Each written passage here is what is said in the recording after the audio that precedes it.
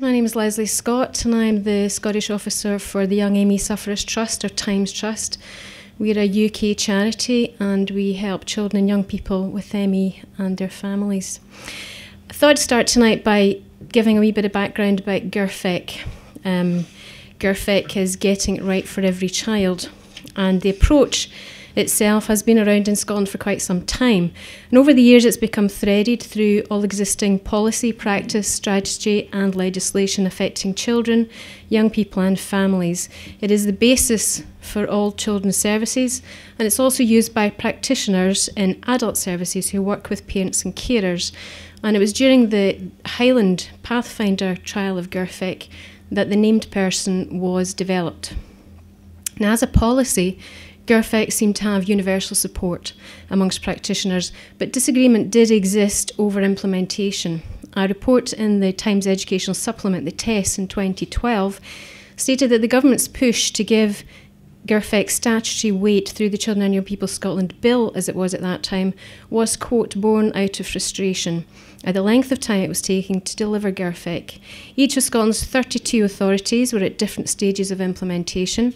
Each had a different interpretation, and the change in culture across agencies, from education to health, social work, law enforcement, housing, and adult support services, was proving slow in some areas.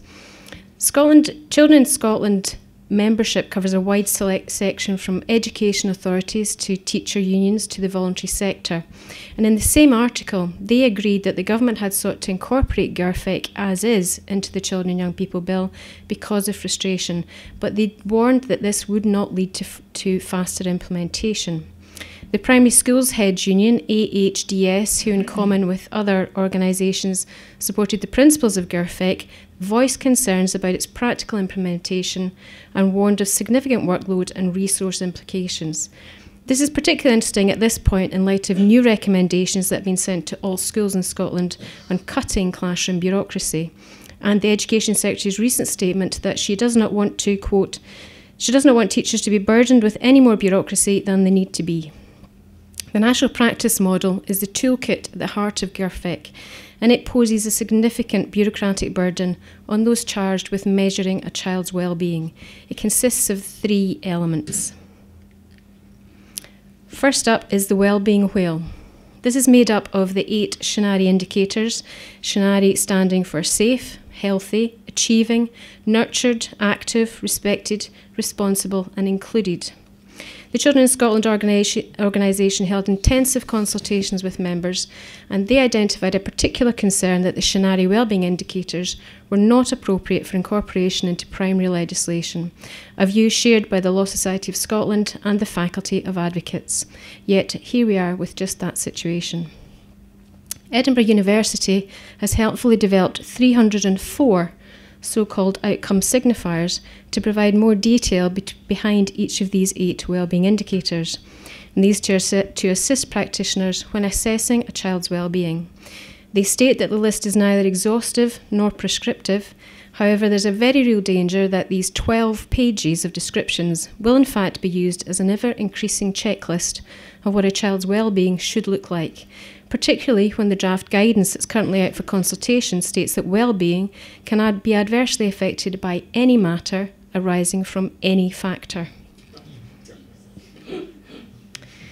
Second up is the national uh, in the national practice model is the My World Triangle.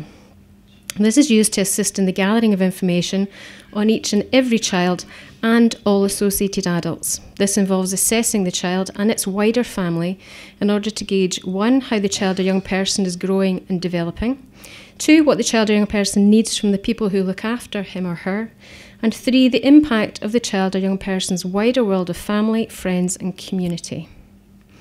Then we have the Resilience Vulnerability Matrix. This is used to organise and analyse information collected in order to assess, for example, whether the child has good esteem and shows good attachment to their parents or carers. In conjunction with the National Practice Model, there is the National Risk Framework. This provides practitioners with a three staged approach to risk. Risk indicator sheet, the, the first stage, uh, risk indicator sheets assist in providing additional information through assessing risk and the impact that risk factors may have on the safety and well-being of the child. There are three sets of risk indicators, as you can see. There's generic, matrix, and resistance. And between them, they have 22 risk indicators listed. Practitioners, are again told that uh, whilst comprehensive, they do not seek to be exhaustive, and they include being under five, illness within the extended family, experience of bereavement, parental resistance or limited engagement, the child being unwilling to disclose information, and the parent having a different perception of the problem. Stage two is risk analysis. This is a process of breaking down the complexity of a child and family circumstances into smaller parts. The information gathered is sorted, weighted in terms of its significance, and, quote, made sense of. The following tools are used to make sense of the information gathered. First up, you have the genogram. This is a visual tool used by practitioners which displays a person's family network and relationships the child, I know you won't be able to make out the detail, but the child's at this end and the extended family goes back from it. Next up, we have chronology. You have a simple chronology and you have a complex chronology. This is a summary timeline of child and family circumstances, patterns of behaviour, and trends in lifestyle, and it's meant to be every time an event happens, it gets recorded. Then you have an eco map. Again, a visual tool used to highlight relationships between a child, their family, and their social network. There's a code, they use solid lines to indicate strong relationships. Broken lines mean there's something not quite right there. But the child's in the middle, and everybody fans out from the child. And then we have the cycle of change. This plots a parent or carer's potential for engagement with the whole risk identification, assessment, and management process. Practitioners are told that resistance to change may present through a family's aggression, their conditional compliance or refusal to cooperate, missed appointments, and other forms of avoidance, superficial engagement, or cooperation. The third and final stage is risk management. This brings together the work done in stages one and two in order to make a judgment as to the child's well-being and whether a child's plan is required. At the end of the GIRFEC trial in Highland, nearly 8,000 children, that's one in five, had been judged as requiring targeted interventions and were put on a child's plan. Now, the draft guidance on the Children and Young People Act, currently open for consultation, has not been written with practitioners, practitioners in mind, nor has it been written in a way that makes it accessible to most children, pe young people, and parents. It is 111 pages aimed at informing those charged with implementing and operating the Act. This, of course, includes the implementation and operation of the named person provision, which is a universal provision. There is no opt out, despite attempts by Liz Smith to have one included. The Minister for Children and Young People, Aileen Campbell's response was that it would result in too much bureaucracy. she added, and I quote, if a child or young person does not wish to engage, they do not need to, unless there is more serious concern about the child which demands that services become involved. Now, two points arise from that statement. Firstly, the name person provision has lowered that threshold for intervention from risk of significant harm to where the named person has a worry or a concern against the SHANARRI wellbeing indicators. We feel this leaves significant decisions open to personal interpretation and bias on the part of the named person. Secondly, the claim that the child or parents do not have to engage is disingenuous.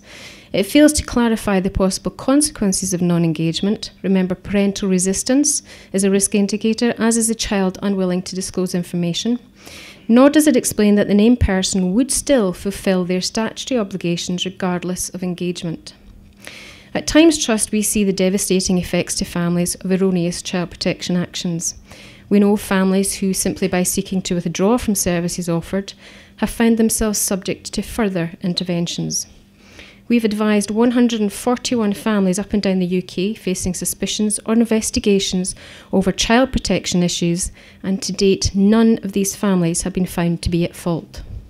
Jane Colby is Executive Director of TYMES Trust, and in her recent paper entitled False Allegations of Child Abuse in Cases of Childhood Myalgic and Encephalomyelitis, she states Parents of children suffering from ME are often faced with intrusive legal action. In some cases, the threat of legal action is to enforce school attendance instead of putting into place the children's entitlement to education in the home while they recover from a very serious illness. Parents can find themselves facing investigations for child abuse or neglect, or have their child forcibly confined to a psychiatric unit. Families appear to be facing an arbitrary, punitive, threatening, and destructive state juggernaut. Jane's paper is important to our discussion here because it gives stark reality to what happens when those in authority make the wrong judgments. It highlights the imbalance of power. Those service providers responsible for the named person provision are the same state agencies who are already at serious variance with parents over how to best care for and educate young people with ME. But this does not just affect families of children with ME. For the draft guidance makes it clear that while the views of both parents and children should be taken into account, there is no requirement for the named person to seek consent for their actions. There is an inbuilt imbalance within the named person provision over the weight given to the views and opinions of, of professionals against those of parents and families. The majority of calls to TYMES Trust Advice Line involve problems where parents' views over the type of support and how it should be provided differ from those of the professionals involved. But worryingly, the Scottish Government has stated within their guidance on measuring outcomes that linked to the healthy wellbeing indicator is that the child and young person, parents and carers are compliant with treatment for any illnesses, diseases, chronic conditions and impairments. Far from supporting families, compliant places a professional in control. It moves authority to the state, making the parent's opinion entirely secondary in the care and treatment of their own children. Scottish Government, however, still insist that nothing in the legislation changes existing parental rights and responsibilities. But the current legislation makes it clear that it is the parent's responsibility to safeguard and promote their child's health, development, and welfare, and to provide direction and guidance to their child. Aileen Campbell is on record as saying that, quote, we recognise that parents also have a role in raising their children. Under the named person legislation, state employees have now been granted statutory duties and responsibilities that rival the legal role of parents. This is not, as it has been claimed, simply the provision of a single point of contact available for families to dip in and out of as they wish. This is state mandated parenting, which obligates a state employee to carry out statutory duties, which are primarily the responsibility of the parents. We remain of the opinion that this is an unwarranted and oppressive intrusion into family life that the vast majority of families do not need or want, and certainly did not ask for. Thank you.